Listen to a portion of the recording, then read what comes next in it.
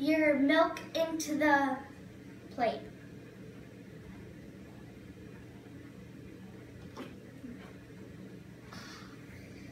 Then you need to add your drops of food coloring.